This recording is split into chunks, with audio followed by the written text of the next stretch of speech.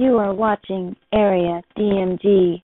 Welcome back to Area DMG. I'm your host, Will Wesley the Mile High Mouth, and today we're going to unbox an amiibo that works with Super Smash Bros. for the Wii U and Super Smash Bros. for the 3DS. And maybe for the Switch. We don't know yet. And that one would be the star of a level in Kingdom Hearts, Cloud. Not Fox McCloud, just Cloud. I have no idea what this guy is from. Probably like uh, Kingdom Hearts. Maybe he was uh, in a couple puzzle games. I think he was in a fighting game. He's from some game. Like Final Fury, Fantasy Quest. I'm not sure. He's pretty popular for some reason. In fact, I heard they're remaking a game that this character is in that'll be out in 2035. Anyways, here's Cloud. And he's got like a giant sword. And he's apparently an ex-soldier. And he idolizes somebody, some guy named Zac Efron. I mean, so just Zac. I'm sorry. I played through Crisis Core. I ain't disrespecting him. Anyways, his main opponent is uh, is a guy named Sephiroth who I think they they went to like the same barber once and got into an argument about it. I don't know.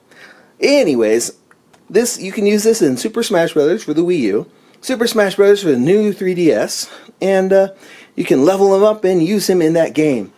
He's pretty cool actually. This is a pretty good character. I usually play as him if I'm like going for like a time attack or for the 100 challenge. Anyways, I'm gonna go ahead and unbox him. Except, oh, Player 2 has emerged. Rather, the Player 2 Cloud.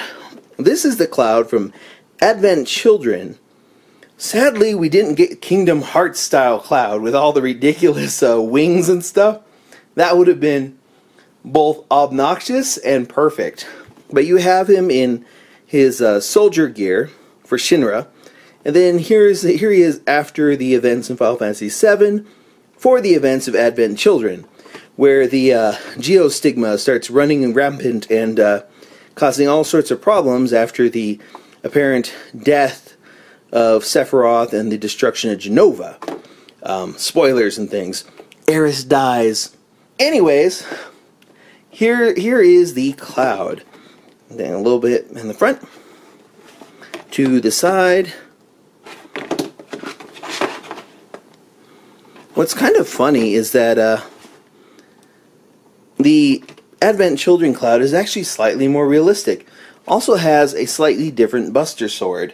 Let's go ahead and open these two up real quick. I mean, when they when they announced Cloud, I was like, wait, what? Because most people associate Cloud with uh, some company called Sony, which has something called the uh, Play Place or the Play, I'm not sure, Station or something like that. Yeah, some other thing, some failed product that I think they've got like they've tried for like four times to try and get it right. But yeah, uh, let's see. Most people consider him to be more of a mascot for them, similar to how they they uh, perceive Laura Croft from Tomb Raider or Crash Bandicoot as being kind of Sony exclusive type characters. So it was kind of a surprise when uh, Nintendo and Square, and Square Enix pulled this out of nowhere. I like how the Advent Children one is definitely more detailed. Definitely better sword. But this one's more classic. But this one's, well, aside from the weird little arm armor stuff, and some more of the Nomura um, belt buckles, this one's got better hair. This one's more, this one's more cartoonish despite having the less elaborate costume. But yeah, kind of a weird, weird world we live in where, uh, well, let's see what it says here. Square Enix, 1997, Square Enix, Co. Ltd. Design, Tetsuya Nomura. Yeah. Maybe someday they'll add a proper um, Kingdom Hearts style cloud to the game if they port it to the Switch. Who knows? Maybe they'll port it to the Switch and be all like, hey, here's Sora from Kingdom Hearts for some reason. And we'll all look at them and go, no!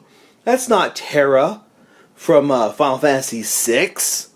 But yeah, uh, Final Fantasy VII was actually pretty great. It was one of the games that I eventually ended up getting a uh, PlayStation for. Actually, to be perfectly honest, I ended up getting PlayStation because I wanted to play Resident Evil and I wanted to play Metal Gear Solid. And I miss Snake, and I think Nintendo needs to bring Snake back and put Snake in Super Smash Bros. for the Switch. Come on, Konami. You can do it. You can do it. We need to get David Hayter for that too. But anyways, yeah. Uh, what do you think? Which of the versions of Cloud is your favorite? Do you like the classic flavor or the uh, leather hotness or whatever you want to call it? The weird little leather uh, Columbine jacket he's got or the um, suspender soldier guy? Which is your favorite? Let me know in the comments below. Hit that thumbs up if you haven't already. Hit that share button if you haven't already. Hit that subscribe button if you haven't already. And if you hit the subscribe button, make sure that you ring that little bell so that you are notified whenever we have a brand new video here on Area DMG. Until the next video comes out, you are now caught up.